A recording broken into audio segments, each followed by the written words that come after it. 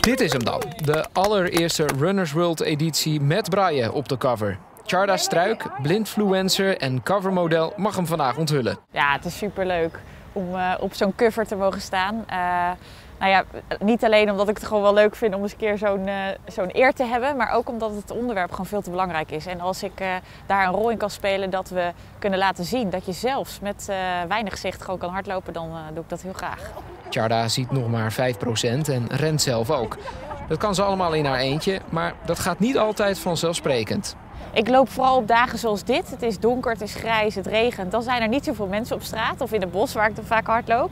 En ik loop ook altijd met mijn uh, hond. Dat is een heel kleine poedel. Die zie je hier ook op de foto geloof ik. En uh, die heeft dan een belletje om. En uh, dan volg ik het belletje.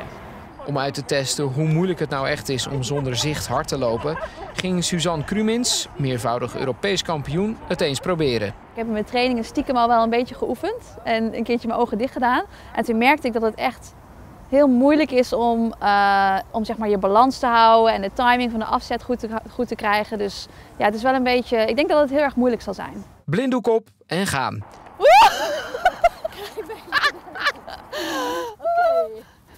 Gaan we nog steeds goed? Ik weet ook helemaal niet hoeveel rondjes we hebben gelopen. Degene die met Suzanne meeliep is Buddy Ann. ik ben er! ik wist ook niet waar ik was. Als je dan het zicht wegneemt, dan, dan, ja, dan alle andere zintuigen beleef je gewoon veel intenser. Dus het is echt, je, je, je hoort meer, je, je, ruikt zelfs meer, je voelt meer. En het is eigenlijk wel heel bijzonder om op die manier te lopen. En nou ja, eigenlijk, ik vond het niet een hele vervelende ervaring, maar alleen maar omdat de buddy erbij was. En als zonder buddy had ik het niet kunnen doen. En doet dit al 12 jaar voor Running Blind, nu gevestigd in Zeist. Nou, ik vind het, het is gewoon zo um, waardevol dat, um, uh, dat ik kan zorgen dat iemand kan hardlopen die dat anders niet, niet, niet kan.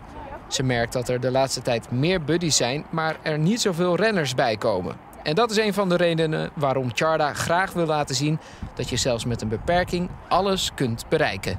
Wat ik het belangrijkste vind is eigenlijk dat mensen die anders zijn, op wat voor manier dan ook, en in mijn geval is dat met een beperking, dat die meer in het licht komen staan. Dus meer podium pakken, omdat we op een gegeven moment dan in Nederland allemaal een beetje het gevoel hebben, ja, dat hoort er ook gewoon bij. Het is gewoon de normaalste zaak dat er een heleboel mensen zijn die het weinig kunnen. Dus ik nodig mensen van harte uit om het podium te pakken.